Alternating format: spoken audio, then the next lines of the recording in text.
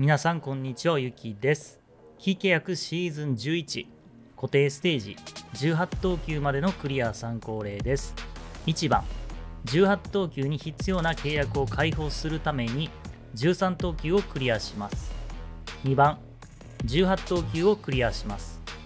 1と2の攻略法は同じで OK です。別で指定契約1から6のクリア参考例をまとめた動画もアップしています。完全ではないですが全て同じような配置でクリアできるようにしました。筆記役シーズン11関連の動画は説明欄の再生リストからどうぞ。それでは編成の紹介です。GG ちゃんとソーンズの永続スキルが攻略の要になっているので連動不足の場合は正常に機能しない場合があります。開幕天人化のスキルを早く発動するためにバグパイプの素質を使用しています。バグパイプはシロアリ隊長が抜けた時の保険で最後に配置します。ヒーラー2人は低レアなので代用可能です。グラベルはコストの低い高速再配置で代用可能です。開幕ボートを撤去する役割で使用します。それでは攻略に移ります。オペレーターを順番に配置。その間にグラベルをこの赤い枠のところのボートを撤去したいので配置と撤退を繰り返します、まあ、4回ですね、まあ、完全に置くだけになるよりは、まあ、このボートをね撤去しておくと、ま水平のポパイとかが、ま持続ダメージを受けるので、まこれはね撤去した方が簡単にクリアできると思います。天人化のコスト回復、そしてソーンズのスキルに関しては手動で発動お願いします。ま、契約で、まあ、GD ちゃんのコストが上がっているので、まあ、素早くコスト回復させて、まあ、操作を終了させた方が、ま楽かなと思います。等級が高くなっていくごとに敵が強くなったり、ま味方が弱くなったりっていうのがね、筆記役なんですが、まあ、今回の18等級は、まあ、前回のシーズン10、まあ、シーズン10の難易度とかに比べると、まだ簡単な方なのかなと思います。あとは最近アップした動画だと、シラクザーノの ISS5、まあ、あのステージの教習の置くだけ簡単攻略は、まあ、参考にね、クリアしたっていう方ももちろん多くて、まあ、すごくね、嬉しいんですが、まあ、例えば、まあ、とあるコメントで、キッ契約レベルの編成だみたいなね、まあ、そんな感じのコメントもあったと思うんですけど、うん、正直今回のキッ契約18等級レベルであれば、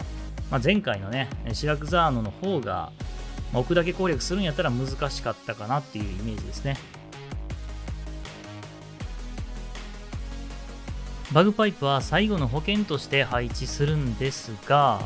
開幕のコストブーストさえ間に合うのであればバグパイプじゃなくても他のオペレーターで代用することは可能です例えば欠場テキサスを開幕抜けそうな時に配置して撤退。えそしてえシロアリ隊長なんかが抜ける時に配置撤退っていうような感じでね代用することは可能です。高台のメインアタッカーとして GG ちゃんの S2 を使用しているんですが、まあ、GG ちゃんの火力不足だったり、まあ、あと GG ちゃん自体ちょっと使えない、持っていないっていう方は、まあ、A や S2 に変更したりして、でそれでも火力が足りないっていう場合は、まあ、減速補助の、まあ、スズランの S2 とか、まあ、そういうオペレーターを使用して、まあ、火力を補えばいいかなと思います。ただ、この動画の契約の取り方だと、7名編成で、今ね、もうフルに使っちゃってると思うので、一番もったいないところは、正直、ヒーラー2人いらないと思うので、うーん、このヒーラーを1人削って、広範囲の医療なんかに変更するといいかなと思います。まあ、例えば、ルーメンとかに変更して、配置場所は、今ハイビスカスがいる左側のマスにボートを置いて下向きに配置する。そしたらソーンズと GG ちゃん回復できますよね、まあ、今回のキッ契約は、まあ、前回シーズン10とかに比べるとすごいいろんな攻略ができてアレンジしやすいと思うのでいろいろねチャレンジしてみてください。そしてその代用がねちょっと難しいっていう場合は再生リストに指定契約まとめた動画とかもあるので、まあ、そちらちょっとアレンジしたりしてるのでねそちらも参考にしてみてください。この最後のバギーを壊した時に出てくるシロアリ隊長、まあ、ここがねちょっと抜けるタイミングだったのでバグパイプ使用しています。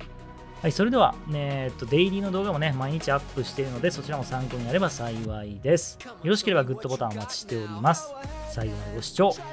ありがとうございました。